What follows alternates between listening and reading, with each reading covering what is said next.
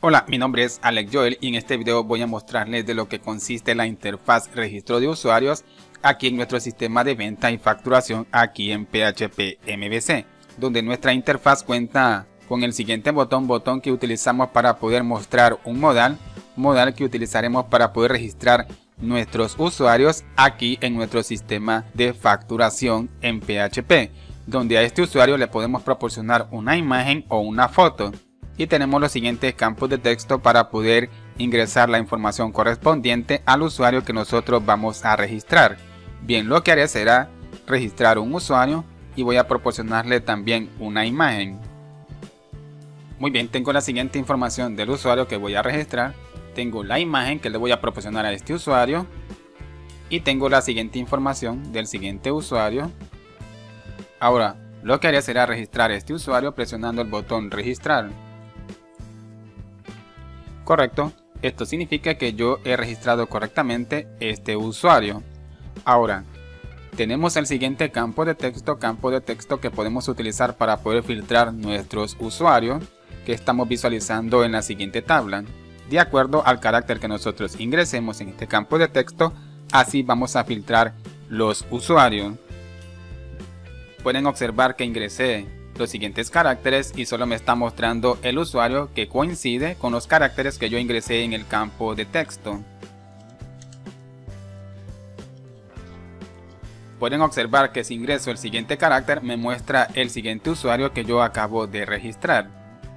Ahora, donde nosotros estamos enlistando nuestros usuarios, podemos visualizar la imagen o la foto de nuestro usuario, el nombre, el usuario y el rol que tiene este usuario en nuestro sistema de venta y facturación.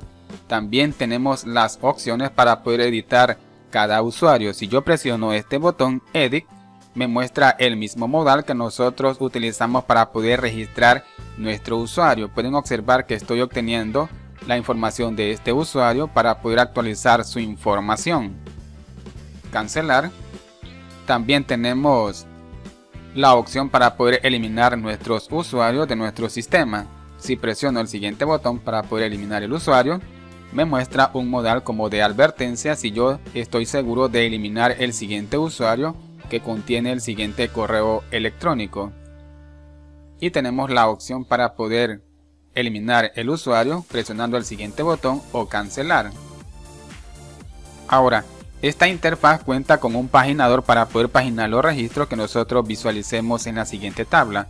Pueden observar que tengo el paginador, que estoy en la primera página y puedo navegar a la siguiente página con el siguiente botón, siguiente, y pueden observar que aquí tengo más registros, o sea, tengo más usuarios registrados. Pueden observar que tengo el usuario que acabo de registrar.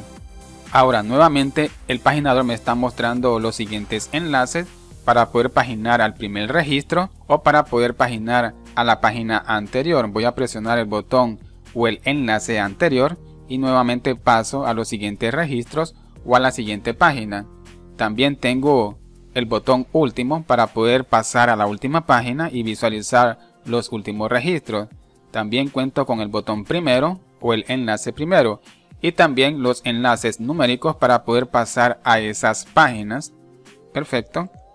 Bueno amigos, hasta aquí este video donde les he mostrado de lo que consiste la interfaz registro de usuario, interfaz que se utiliza para poder registrar usuarios para que estos usuarios tengan los privilegios de poder iniciar sesión en nuestro sistema de venta y facturación y también donde podemos gestionar la información de estos usuarios Bien, espero que este video les haya gustado y nos vemos hasta el siguiente video y que Dios les bendiga.